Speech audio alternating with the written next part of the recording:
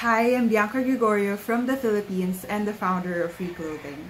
Taytay is the garment capital of our country, producing at least 10,000 garments per day.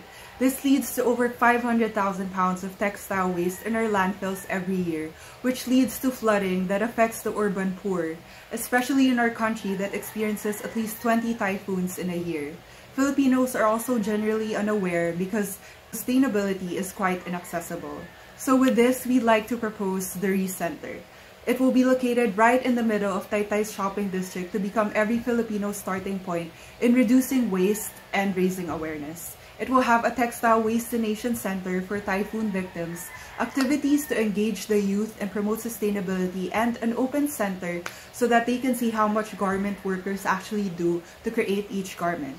So we hope you can join us in starting the revolution and welcome to Re Center.